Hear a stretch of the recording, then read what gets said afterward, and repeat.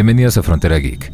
El día de hoy les traigo la primera parte de la reseña y narración de la adaptación en cómic de Alien 3, el guion jamás producido. Ya antes comenté un poco sobre la accidentada producción de Alien 3, esto en la tercera parte de la serie de videos de La historia detrás de la historia de Alien, videos que también pueden ver en el canal para profundizar en el tema. Un frustrado y probablemente estresado David Fincher tuvo que empezar a trabajar en una película que al momento de su incorporación como director no tenía ni siquiera un guion terminado. Peor aún, el guion que 20th Century Fox iba aprobando pasaba por continuas modificaciones y reestructuraciones que entorpecían y malgastaban los esfuerzos de todo el equipo de producción. Y en ese proceso de rechazo, modificaciones y aprobaciones es que existió también este guion el segundo borrador del autor William Gibson, entregado en 1988, uno de los 10 guiones que Fox rechazó para esta película. Y digo segundo borrador, porque tuvo un primer intento en 1987, que era sustancialmente diferente, pero que también fue rechazado, algo que tocaré más adelante. Este segundo guion fue reescrito y adaptado al formato de cómic, y fue anunciado parcialmente por Dark Horse en el 2018, como parte de la celebración del Alien Day, y finalmente publicado en cinco números muy recientemente, en el 2019. Alien 3, si bien no es una de las películas favoritas de la mayor parte de fans de la saga, tampoco es considerada la peor, tiene sus pros y sus contras, pero ¿pudo haber sido mejor de haber tenido una historia diferente? Veámoslo a continuación. Aviso, este video tiene contenido gráfico de violencia y no está orientado a niños.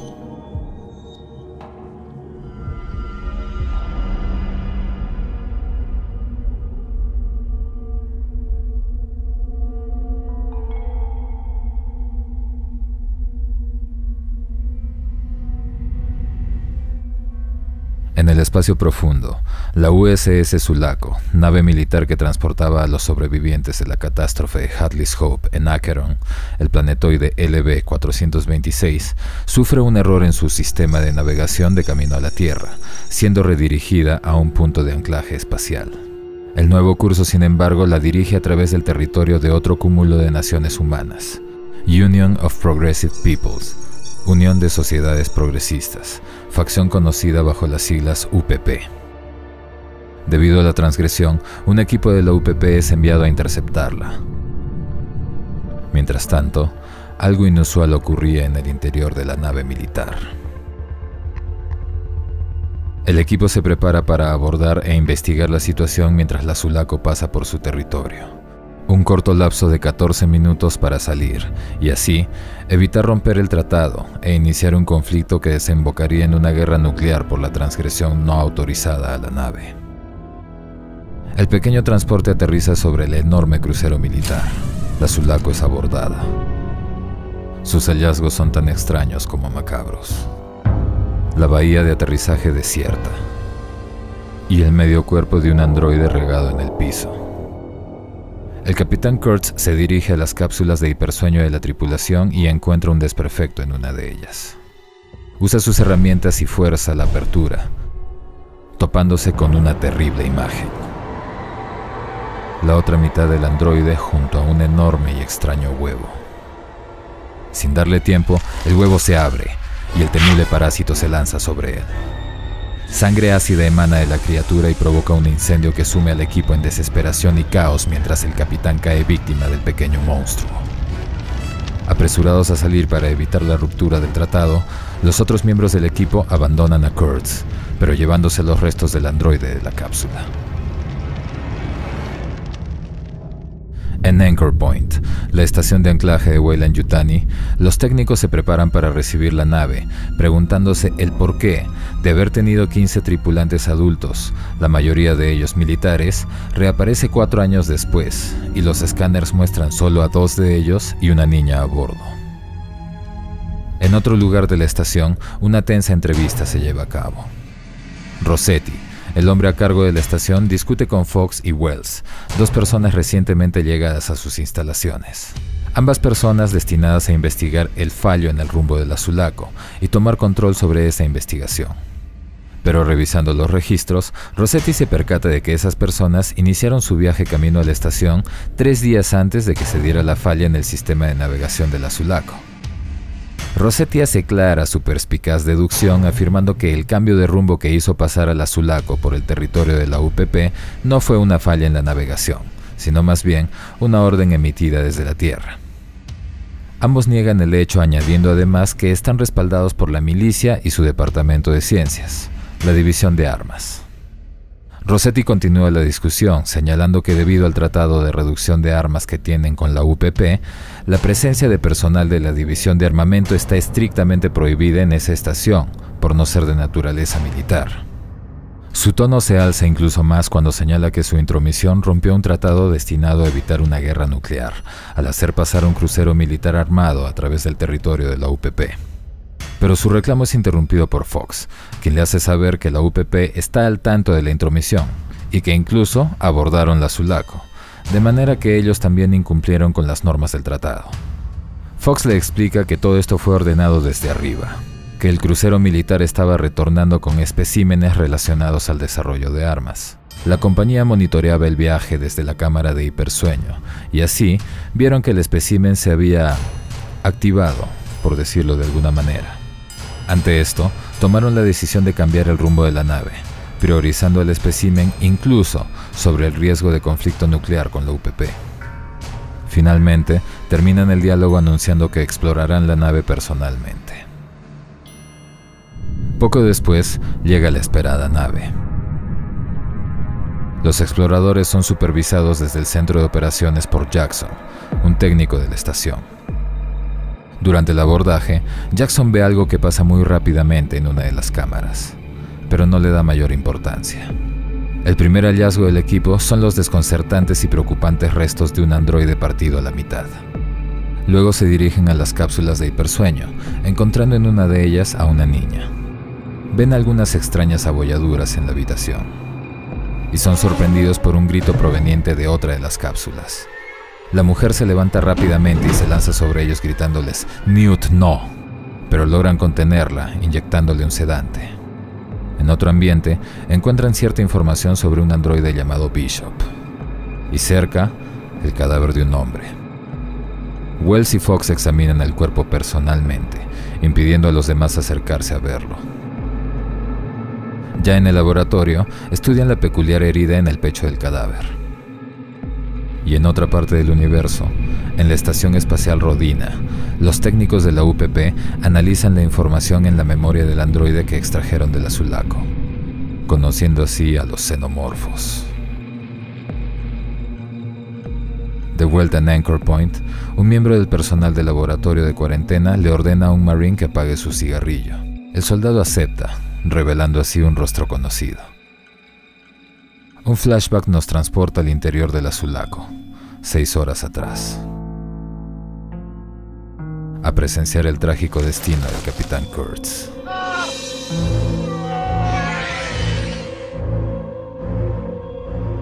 De vuelta en el presente, muchos eventos empiezan a desarrollarse a la vez. En Anchor Point, los rescatados del azulaco pasan por una tensa sesión de examinación. La niña, Newt, se niega a ser examinada, llegando incluso a morder al personal médico, a la vez que exige saber dónde está la mujer, Ellen Ripley. El cabo Hicks se suma al reclamo, confrontando al personal médico. Intentando evitar conflictos, llevan a ambos a ver a Ripley, quien sigue bajo los efectos del sedante que le pusieron al momento de la incursión en la nave. En otro laboratorio, el personal inspecciona los restos destrozados del androide Bishop hallados en la Sulaco, recuperando algunas muestras de tejido. Rossetti, por su lado, en el centro de operaciones, intenta investigar sobre la misión de la que provenían los rescatados, sobre el planetoide LB-426 y las instalaciones de Hadley's Hope. Pero toda la información había sido borrada por ejecutivos autorizados de Weyland Yutani. En ese momento recibe una transmisión proveniente de la estación Gateway, en la Tierra. El mensaje es claro y conciso. Su prioridad es brindarle a Fox y Wells todas las medidas de seguridad y cooperación para asegurar que puedan cumplir con su labor a bordo de la estación. El futuro mismo de la estación depende de eso. Jackson, quien estaba escuchando el mensaje, le comenta sobre este. ¿Cómo se siente ante la posibilidad de que la estación que él mismo construyó pueda continuar o quedar inoperativa dependiendo de que no haga preguntas y socape algo que claramente ha sido turbio desde un principio? Lo obvio es que Rossetti quiere que continúe, a lo que Jackson acota, que en su lugar no lo querría, si eso implica convertir la estación en un laboratorio de armas biológicas. En el laboratorio de cultivo de tejidos, Tully y Spence, una evidente pareja, conversan sobre sus tareas. Ella le narra que Ripley está en shock catatónico, sin dar respuesta alguna, aunque sus signos vitales son estables. Newt, la niña, se niega a decir nada, excepto que sus padres están muertos y que Ripley es su amiga. Y Hicks, el Marine, continúa esperando a dar su informe de misión. Pero su tranquilo diálogo se interrumpe al examinar en el microscopio las muestras de tejido provistas por Fox. En el módulo ecológico de la estación, Wells habla con Newt, prometiéndole que visitará África algún día, siempre que no diga nada a nadie sobre lo que vivió antes de llegar ahí. Spence observa a Newt y conversa con Wells intentando saciar su curiosidad por la niña, sobre su estado mental, su futuro. Pero la cortante respuesta de Wells es que recibirá terapia en la estación Gateway de la Tierra y que luego se quedará con sus parientes. A la partida de Wells, Newt se acerca y le pregunta a Spence si confía en ella, y concuerdan en que ninguna de las dos lo hace. Al otro lado, en Rodina, la estación espacial de la UPP, una importante reunión se lleva a cabo. El resumen de la información extraída de Bishop es presentado ante las autoridades de la Unión, explicando las facetas del ciclo de vida de la criatura que atacó al capitán Kurtz durante el abordaje. Hablan sobre el destino de los colonos en LB-426 y la forma de reproducción del alien descansando sobre su reina. Lo más interesante es que señala que las notas de Bishop infieren que cada individuo, cada alienígena, tiene la capacidad para convertirse en una nueva reina. Luego pasan a discutir la importancia de la especie en el rubro de las armas biológicas, más aún con la información que sus espías en Weyland Yutani les proveen sobre un proyecto secreto en el ala de investigación biológica de la mencionada compañía. Con todo eso dicho, determinan que la mejor forma de proceder es devolver el androide a la estación de Anchor Point, reclamar la devolución del capitán Kurtz y establecer una protesta formal por la intromisión del crucero militar en su territorio pretendiendo además no saber nada sobre el alien. Todo esto para ganar tiempo. De vuelta en Anchor Point, los mecánicos se preparan para reparar los daños que la intromisión de la UPP dejó en la Sulaco, retirando la estructura de ventilación dañada y llevándola de vuelta a la estación para reparación. Por otro lado, Higgs es convocado por Rossetti, quien le informa que ahora se encuentra bajo la autoridad de la División de Armas de Weyland Yutani, y es Wells quien le exige su informe de misión. Rossetti se retira dejándolos solos, y es entonces que recibe una llamada del oficial Rivera, de la UPP, quien le reclama la devolución del capitán Kurtz. Rossetti afirma no saber de qué le habla, mientras le demanda la devolución del androide Bishop. La conversación se hace tensa cuando el oficial señala la intromisión del azulaco en su territorio espacial, a lo que Rossetti refiere la transgresión de la UPP en un crucero militar que solamente había perdido su rumbo. Rivera entonces señala posibles violaciones al Tratado de Reducción Militar, que no tiene acusaciones por el momento, pero que toda la situación está bajo investigación, añadiendo además que devolverán al androide Bishop, no dejando así ninguna excusa para la retención del capitán Kurtz. En otro punto, Tully convoca a Fox para ver los resultados del cultivo de su muestra biológica. Se sorprende al saber que todas las pruebas ya fueron hechas, sin haber llegado siquiera a la mitad de las 53 horas estipuladas para tener un cultivo de tejido útil. Pero aún más sorprendente y preocupante es el resultado. El material genético de la muestra, lejos de verse como ADN, ataca rápidamente al ADN humano en su cercanía, lo destruye, lo asimila y así evoluciona. Tully explica que el proceso toma segundos y que ante tal riesgo decidieron interrumpir los ensayos. Fox reacciona agresivamente, pero Spence le increpa que el riesgo es demasiado alto y que no pueden manejar algo así sin tener una instalación de contención adecuada. Pero Fox les aclara que la estación es la instalación de contención. El miedo se apodera de Spence. Algún tiempo después, los experimentos de la UPP en Rodina se encuentran ya encaminados. Una asombrosa genética y un acelerado crecimiento celular les permiten desarrollar un espécimen a partir de las muestras extraídas de Bishop. Una estructura genética que parece haber sido diseñada para ser manipulable y ser compatible con otros plasmas.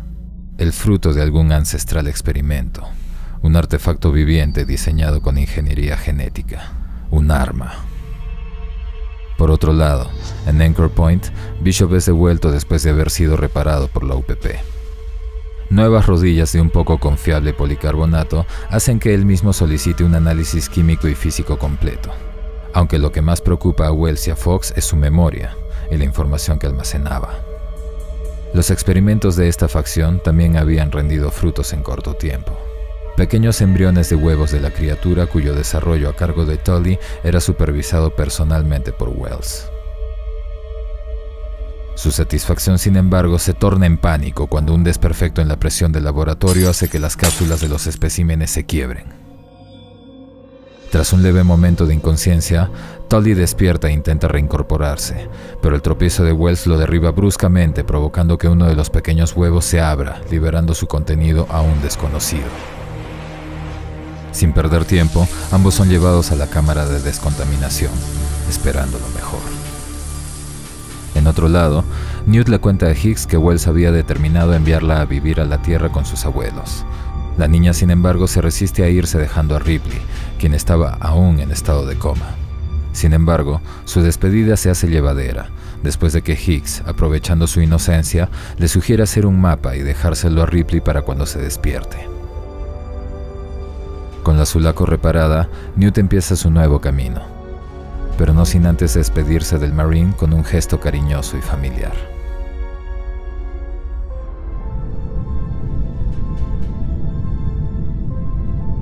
Bishop en cambio estaba sometido al escrutinio de Fox, quien intentaba descubrir alguna fuga de información, una intromisión en su memoria lo que sabían o no sobre el destino de LV-426 y cuál era su último recuerdo en la Sulaco.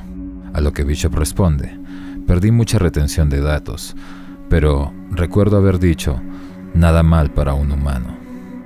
Una llamada urgente de Wells interrumpe la entrevista. Tanto Fox como Bishop acuden al llamado, al laboratorio de cultivo. El accidente provoca que tanto Tully como Spence sean retirados del proyecto por Wells, sin lugar a reclamos asignando luego la tarea de continuar con la investigación a un misterioso Bishop. Y en la bahía de anclaje no le prestan mayor atención a la estructura dañada y retirada del azulaco, ya que ésta había sido ya reemplazada.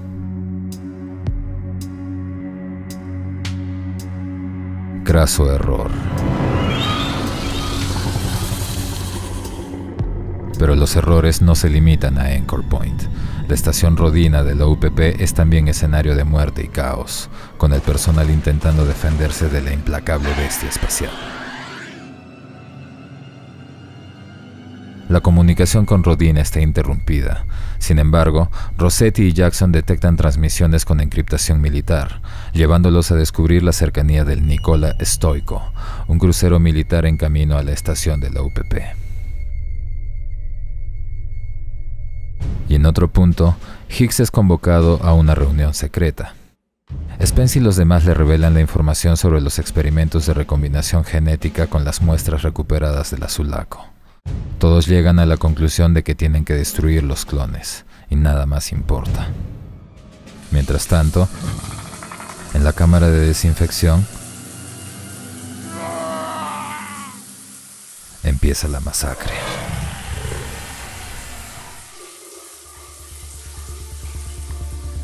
Hasta aquí llega la primera parte de esta narración. Si les gustó espero su like, que se suscriban y lo compartan. No olviden que los espero en Facebook, Flickr e Instagram para más contenido, fotografía escala y novedades. Y también en Patreon, donde podrán apoyar al canal si así lo desean, teniendo acceso a adelantos, material inédito y las sesiones de fotografía escala completas de cada reseña. Les agradezco de antemano. Soy Dexeo Atentos para la segunda parte de la narración de Alien 3, el guion jamás producido. Muy pronto.